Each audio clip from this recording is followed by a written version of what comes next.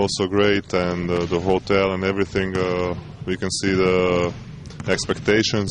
We can feel it in the city, in the gym. So we are really happy that we can be here, and we are trying to stay here uh, as long as we can.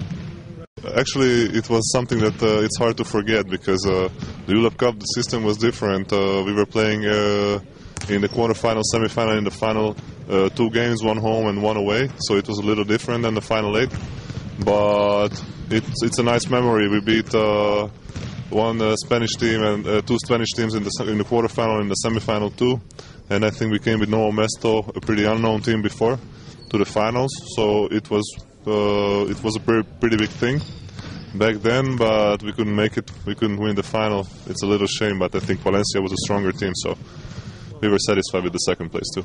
Dynamo, we respect them as a team. We were scouting them, everything. So we know that they're a good team with a good coach, we know organization and everything.